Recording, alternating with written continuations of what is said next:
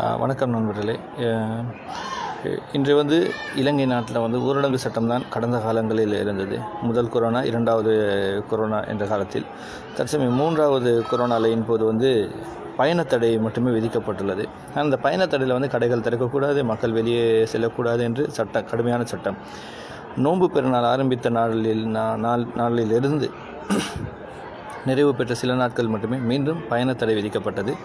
தற்சமயம் வருகின்ற அடுத்த மாதம் ஏழாம் திகதி வரை தொடர்கிறது. வருகின்ற ஏழாம் திகதி தான் திறக்கப்படுகிறது. ஏன்னா ஒன்றே ஒன்று நாட்டு அரசாங்கம் வந்து நாட்டை மட்டுமே சிந்திக்கிறார்கள். நாட்டின்ற வளர்ச்சியை மட்டுமே சிந்திக்கிறீங்க. ஆனால் நாட்டில் இருக்கக்கூடிய மக்களோட பசியையும் பசியை வந்து போக்குறதுக்கான வழிகள் இல்லை. இப்போ இத்தனை நாட்கள் வந்து மக்கள் வந்து பயணத்தடை விதிக்கப்பட்ட சமயத்தில் தினக்கூலி வேலை செய்பவர்கள் வந்து பெருவாரியாக வந்து பாதிப்படைந்தார் கடைகளில் வேலை செய்யக்கூடியவர் பல்வேறுபட்ட ரீதியில் பா பாதிப்படைந்தார் இதற்கான இதற்கான வழிவகைகள் என்ன? சாதாரணமாக தலவாக்கலையில் இருக்க தலவாக்கலையிலிருந்து சென்கும்ஸ் தோட்டம். இந்த டிஆர்ஐக்கு சொந்த அரசு அரசாங்கத்துக்கு சொந்தமான தோட்டத்தில் வந்து கிட்டத்தட்ட முப்பத்தி ரெண்டு பேர் வந்து முதல்ல வந்து அடையாளம் காட்டப்பட்டுள்ளார்கள் கொரோனா இந்த கொரோனா தொற்றுக்குள்ளாகி முப்பது பேருக்கு மேற்பட்டவர்கள். ஆனால் செய்திகளில் வர வந்த விடயம் வந்து பதினான்கு பேர் என்று. ஆனால் அங்கே இருக்கக்கூடிய ஒட்டுமொத்தமாக இருக்கக்கூடிய ஐநூற்றி நாற்பதுக்கும் மேற்பட்ட குடும்பங்கள் வந்து தனிமைப்படுத்தப்பட்டது. லாக்டவுன் லாக்டவுன் தனிமை லாக்டவுன் பண்ணப்பட்டது. ஆனால் அவர்களுக்கு வந்து அருகாமையில் இருக்கக்கூடிய இரண்டு இரண்டு ஊரில் இருக்கக்கூடிய மக்கள் எல்லாரும் சேர்ந்து அவர்களுக்கு நிவாரணம் கொடுத்தாங்க. அது மாதிரி அரசாங்கம் வந்து பாடசாலை மாணவர்களும் ஒன்றிணைந்து அவர்களும் நிவாரணம் வழங்கியிருக்காங்க. சாரதிகள் நிவாரணம் வழங்கியிருக்காங்க. வரவேற்கத்தக்கக்கூடிய ஒரு- ஒரு எடுத்துக்காட்டான ஒரு விடயம் ஒரு தொழிலாளிக்கு ஒரு தொழிலாளியை கை தொழிலாளியை ஒரு தொழிலாளிக்கு ஒரு தொழிலாளி தான் கை கொடுத்துள்ளது. இதே போல் அரசு நிவாரணம் வந்து அங்கு அங்கு வந்து வருகை தந்துள்ளது. அரசு நிவாரணம் கொண்டு வந்த சமயத்தில் கிட்டத்தட்ட இருநூற்றி முப்பது குடும்பத்துக்கு மட்டுமே அரசு நிவாரணம் கொடுக்கப்பட்டது மற்றவர்கள் கொடுக்கவில்லை. இதற்கு காரணம் என்ன? அரசாங்கத்தில் பாதி பேர் வந்து அரசாங்கத்தில் வேலை செய்கிறார் அவர்களுக்கு அவர்களுக்கு மாத சம்பளம் என்று உள்ளது. அப்படின்னு பல்வேறுபட்ட பல்வேறுபட்ட கருத்துக்களை முன்வைத்து இருநூற்றி நாற்பது குடும்பங்களுக்கு இருநூற்றி நாற்பது குடும்பங்களுக்கு மாத்திரம் கொடுத்துவிட்டு எடுத்து சென்றுள்ளார்கள். அதற்கு வந்து காரணம் அங்கே இருக்கக்கூடிய தோட்ட நிர்வாகத்தை நிர்வாகத்தி நிர்வாகத்தை நிர்வாகத்தினர் வந்து அந்த அந்த பொதிகளை கொடுக்க வந்தவர்களுக்கு வந்து அவர்கள் வந்து உறுதிப்படுத்த உறு உறுதிப்படுத்தப்பட்டால் கொடுக்கிறேன் என்று கூறுகிறார்கள் இருக்கிறார்கள். தற்சமயம் வந்து ஏஜ் ஆஃபீஸ் மூலியமாக வந்து அவர்கள் வந்து மீண்டும் கொடுப்பதற்கான நடவடிக்கையை ஏற்படுத்தியுள்ளது. இதில் வந்து தற்சமய நாட்டில் நாட்டில் வந்து தனிமைப்படுத்தப்பட்ட தனி தனிமைப்படுத்தப்பட்டுள்ளார்கள் பயணத்தடை விதிக்கப்பட்டுள்ளது. ஆனால் மலையகம் எங்கும் பல்வேறுபட்ட ரீதியில் வந்து மக்கள் வந்து பாதிப்படைந்திருக்காங்க ஆனால் அவர்களுக்கான உலர் உணவுப் பொருட்களை வந்து அரசாங்கம் கொடுத்துவிட்டு ஏன் அவர்களுக்கு வந்து ஊதியத்தில் வந்து அவர்களது சம்பளத்தில் வந்து அந்த பணத்தை பிடிப்பதற்கு ஏற்பாடுகள் நட நடைபெறுகிறது? இதனை வந்து ஏன் ஊடகத்து ஊடக நண்பர்கள் ஏன் வெளி வெளி உலகத்துக்கு வெளிச்சம் காட்ட முன் வருவதில்லை ஏன்னா அரசு அரசு கொடுக்குற நிவாரணமும் சரி மாத சம்பளம் அடிப்படையில் அது கம்பெனி ஒரு கம்பெனியில் இருக்கக்கூடிய கம்பெனி வந்து கண்டிப்பாக அந்த கம்பெனியில் உள்ளவங்க தான் கொடுக்கணும். இது போல் எபோட்ஸ்லி தோட்டம். எபோட்ஸ்லியில் மன்னிக்கணும். இன்ஜஸ்டி அந்த பகுதியில் புளியாவத்து இண்டஸ்ட்ரி பகுதியில் வந்து ஒரு ஒரு கம்பெனி யூனிலிவர் யூனிலிவருக்கான சொந்தமான ஒரு கம்பெனி கம்பெனியில் தொழிலாளர்களால் தான் அங்கே இருக்கக்கூடியவர்கள் முடக்கம் செய்யப்படும். ஆனால் அந்த கம்பெனி வந்து மிகப்பெரிய ஒரு கம்பெனி யூனிலிவருங்கிறது ஏற்றுமதி நிறுவனத்தில் மிகவும் ஒரு ஒரு பேர் போன கம்பெனி அவர்கள் வந்து கைவிடப்பட்டுள்ளார்கள். அங்கே இருக்கக்கூடிய மக்கள்களுக்கு வந்து நிவாரணம் வந்து வழங்க முன் வரவில்லை. கடந்த காலங்களில் வந்து அரசியல்வாதிகள் சமூக ஆர்வலர்கள் பல்வேறுபட்டவர்கள் வந்து நிவாரணத்தை வந்து கொடு- கொடுக்க முன் வந்தார்கள். இம்முறை நிவாரணத்தை கொடுக்க எல்லாரும் யாரும் வரவில்லை. நாட்டில் இருக்கக்கூடிய நாட்டுக்கு தினந்தோறும் சட்டம். ஆனால் ஏழை மக்களுக்கு தான் எல்லாமே இருக்குது சாதாரண ஒரு மாஸ் போடலாம்னு சொன்னாலே அவர்களை கொண்டு போயிட்டு வழக்கு தாக்கல் பதிவு செய்கிறவங்க பாராளுமன்றத்தில் எத்தனையோ பேர் அமர்ந்திருக்கிறார்கள். அவர்களே மாஸ் போடாமல் இருக்காங்க. அவர்களுக்கு வந்து என்ன முகக்கவசம் போடாமல் இருக்காங்க? அவர்களுக்கு என்ன சட்டம் எடுப்பீர்கள்? தற்சமயம் நாட்டில் வந்து பயணத்தடை விதிக்கப்பட்டாலும் மலையகத்தில் இருக்கக்கூடிய கிட்டத்தட்ட ஒரு லட்சத்தி அறுபதாயிரம் தொழிலாளிகள் வந்து குறைந்தபட்சம் எனும் இன்றைய இன்றைய நாட்களில் வந்து ஒரு லட்சம் தொழிலாளிகளாவது தினந்தோறும் வேலை செய்கிறார்கள். லாக்டவுன் முடிந்தாலும் லாக்டவுன் இருந்தாலும் அவர்கள் வந்து அங்கே வேலை செய்கிறார்கள். ஆனால் அவர்களுக்கான இந்த கொரோனா தடுப்பு ஊசியை வந்து அரசாங்கம் ஏன் வழங்க முன்வரவில்லை? தலைநகரமாக வேறு பல்வேறுபட்ட மாவட்டங்களுக்கு கொடுக்க முன்வந்த அரசாங்கம் மலையகத்தில் இருக்கக்கூடிய தொழிலாளிகளுக்கு தொழிலாளிகளுக்கு ஏன் இந்த கொரோனா தடுப்பூசியை வந்து வழங்குவதற்கு உடனடி நடவடிக்கை எடுக்கவில்லை?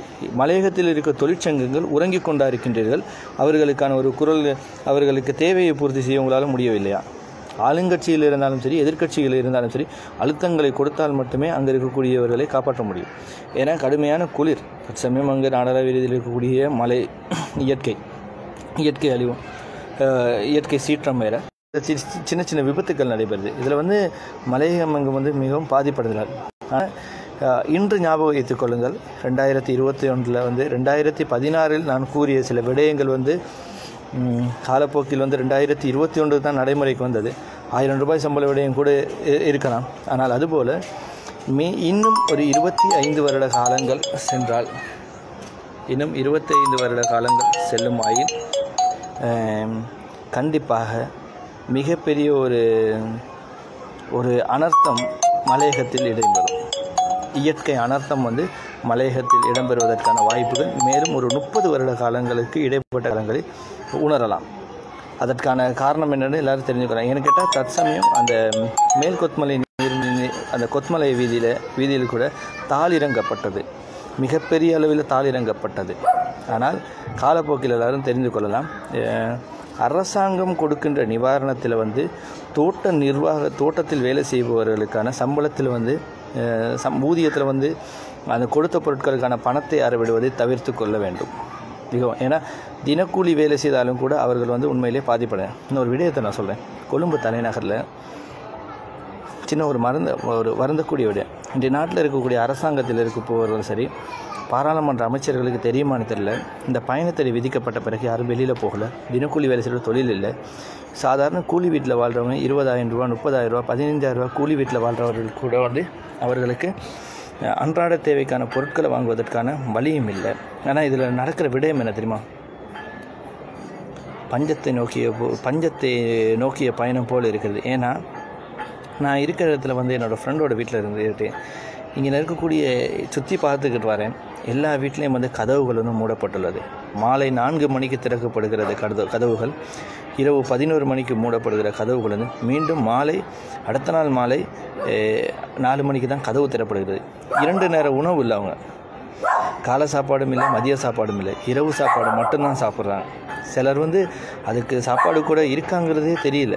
ஆனால் இந்த இந்த பயணத்தடை விதிக்கப்பட்ட சமயத்தில் வந்து எல்லாருக்கும் எல்லாரும் பாதிப்படைந்தார்கள். எனக்கு கேட்டால் மாத சம்பளம் எடுப்பவர்கள் கூட பொருட்கள் வாங்குவதற்கு வழி இல்லை. கடைகள் வந்து மூடப்பட்டுள்ளது. அவர்களுக்கும் வயிறு இருக்குது தானே. வேற யாருக்கு இல்லையே. ஏன் இப்படி? ஒரு எல்லா நிவாரணங்கள் கொடுத்தாலும் மாத சம்பளம் கொடுத்தாலும் சரி தினக்கூலி எடுத்தாலும் சரி பாதிப்படைந்தது எல்லாரும் தான். இது கேட்டால் லாக்டவுன் கொரோனா தொற்றாளர்களுக்கு வந்து லாக்டவுன் வீட்டில் வந்து லாக்டவுன் பண்ணவங்களுக்கு பத்தாயிரம் ரூபாய் பெறுமதியான சாமான். அவர்களோடு சேர்ந்து மக்கள் எல்லாரும் தனிமைப்படுத்த மக்களுக்கு ஐயாயிரம் ரூபாய் சாமான். இதெல்லாம் என்ன நியாயம்? மனிதாபிமானமாக நடந்து கொள்ளுங்க. மனிதாபிமானம் மட்டும் நடந்து கொள்ள வேண்டாம். அரசாங்கத்துக்கு செம்பு தூக்குறதும் சரி நீ கூஜா தூக்குனாலும் சரி எதை தூக்குனாலும் சரி. ஆனால் ஒரு வருந்தக்கூடிய விட இன்றைய இன்றைய ஒரு பதிவில் கூட பார்த்தேன். நேற்றைய தினம் வந்து பகவந்தலா பகுதியில் வந்து அரசாங்கம் கொடுக்குற நிவாரணத்தை கூட தோட்ட தலைவர்மார் வந்து களவெடுத்திருக்கீங்க அதுலேயும் ஒரு ஈனமான என்ன தெரியுமா? இதான் சொன்னனே ஒவ்வொரு தோட்டமும் உருப்படாமல் போகிறதுக்கு ஒரு காரணம் என்ன தெரியுமா? சலுகைகள் கிடைக்காததுக்கு போனால் இந்த மாதிரி தலைவர்களால் தான். ஒவ்வொரு தோட்டத்தில் இருக்கக்கூடிய தலைவர்களால் தான் ஒவ்வொரு தோட்டமும் இன்றைக்கி உருப்படாமல் போணுச்சு. ஏன்னா இவங்களுக்கெல்லாம் தேவை. அவங்க அவங்க அவங்க குடும்பத்துக்கு தேவையானதை மட்டும்தான் தேவை. ஆனால் மற்றவங்கள பற்றி யோசிக்க மாட்டாங்க. அதுதான் சொன்னேன் படித்த இளைஞர்கள் எத்தனையோ பேர் இருக்கிறேன் உங்களுக்குன்ற ஒரு காலம் இருக்குது. உங்களுக்குன்னு ஒரு எதிர்காலம் இருக்குது. உன்ன உனக்குள்ள ஒரு நம்பிக்கை இருக்குது நீங்களாகவே வெளிவந்து உங்களுக்கான தேவைகளை வந்து நீங்களாகவே செய்ய பாருங்கள் அன்னைக்கு வந்து மலையகம் முன்னுக்கு வரும். எல்லாரும் வந்து மலையகத்தை பேசாத நாட்கள் இல்லை. இன்றைக்கி இன்றைக்கி இன்னொரு விடயத்தையும் சொல்கிறேன் இன்றைக்கி சாதாரணமாக ஊடகவியலாளர் வந்து பிராந்திய ஊடகவியலாளர். இன்றைக்கி ஏசி ரூமில் இருந்துக்கிட்டு செய்திகளை வாசிப்பாங்க. மலையகம் மலையகம் மலையகத்தில் ஒரு நாட்டில் வந்து அந்த சட்டம் இந்த சட்டம் அறிமுகப்படுத்தப்பட்டது. மக்கள் பாதிப்படைந்தாலே வீ- வீதி விபத்து அப்படின்னு பல்வேறுபட்ட செய்திகளை வந்து வெளியிட்டு தினந்தோறும் லட்சக்கணக்காக வந்து சம்பாதி லட்சக்க லட்ச ரூபாய் பணம் சம்பாதிக்கக்கூடிய வானொலி சேவை இருக்கின்றது. தொலைக்காட்சி சேவை இருக்குது தொலைக்காட்சி நிறுவனம் இருக்குது ஆனால் இதில் வந்து எந்தவித பாதுகாப்புகள் இல்லாமல் பிராந்திய செய்தியாளர்களாக வந்து செயல்படுவதற்கான ஊதியம் எவ்வளோன்னு யாருக்கும் தெரியாது. அவர்களுக்கு என்ன மீடியாவில் வேலை செய்கிற ஒரு பவர் மட்டும் தான் ஏன்னா ஒரு வானொலி சேவைக்கு ஒரு செய்திகளை கொடுத்தா இருநூற்றி ஐம்பது ரூபா நார்மலான ஒரு செய்தி கொடுத்தா இருநூற்றம்பது ரூபா கிடைக்கும்.